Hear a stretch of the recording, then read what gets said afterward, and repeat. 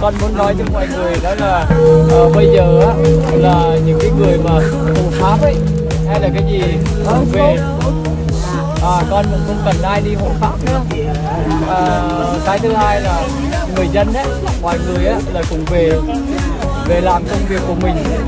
Hộ pháp cùng làm công việc của mình với để uh, ờ, youtube ấy cũng về làm công việc của mình. Chúng tôi không cần ai đi theo nữa tại vì đi theo là vừa mất trật tự vừa mất khi uh, ờ, giao thông rồi chúng tôi cũng không có cần như thế này. Khi hạnh đầu đà tập học là hữu duyên. Tự mình đi khất thực tự mình lo lấy tự mình ấy. Còn ai mà uh, các uh, người tu nào ấy mà đi tập học ấy, thì tự lo lấy tự uh, đi lấy chứ không cần ai cả.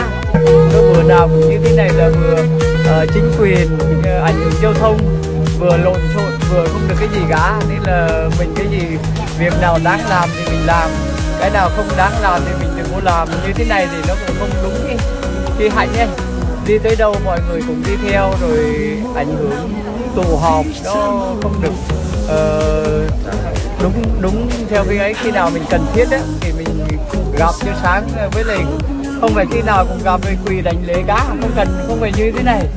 Mình ở nhà mình uh, làm cái điều thiện mình giữ giới ờ, theo lời Phật dạy là như thế là mình đánh lễ rồi nhưng không phải như thế này cả. Nên là mọi người mà biết làm như thế thì tốt đẹp. Để cho mọi người từ từ đi ấy. Chứ bữa nào cũng vây họ như thế này đâu có được. Ờ, để tu tập ấy ai muốn đi bữa nào cũng không mình cũng công việc của mình chứ tại vì uh, các uh, người đây người tu cũng có cái công việc của họ với chứ khi có cái thời gian để họ ngồi thiền họ tu hành họ làm riêng việc riêng tư chứ đâu phải khi nào cũng Ờ, làm như này đâu đâu phải diễn viên điện ảnh đâu. Ờ, không phải ờ, Hollywood không phải chụp phim. Ờ, nên là mình về công việc của mình thì tốt đẹp. Cái nên là không ai đi theo nữa. Ờ, không phải đấy là con nói rồi con nói như thế đấy. Chứ không là làm ảnh hưởng chung đến không phải là uh, cấm đoán gì hết. Khi nào mà các con ấy mà đi cất thực á là đến từng nhà xin nhận vật thực chứ không đưa đến như thế này. Ngày mai á mà ai đưa đến là các con không nhận. À, đưa đến là không nhận. Khi nào đi khất thực đến nhà thì mới nhận. Còn không đưa đến là không nhận đừng có trước. Nên là cũng mất công là đừng có 3 giờ sáng hay 5 giờ sáng chạy đi cho đồ. Còn uh, việc sư nào muốn nhận uh, thì việc của họ. Đưa cho họ nhưng mà riêng con là con không nhận còn các sư khác là quyền của họ. Con mà sớm á mà đang ngủ 3 giờ sáng hay là 4 5 giờ sáng á, mà đem đến là con không hề nhận ờ 5 giờ chạy theo không nhận. Khi nào giờ con đi cùng con nói nhận đến nhà. Nhận Phật rồi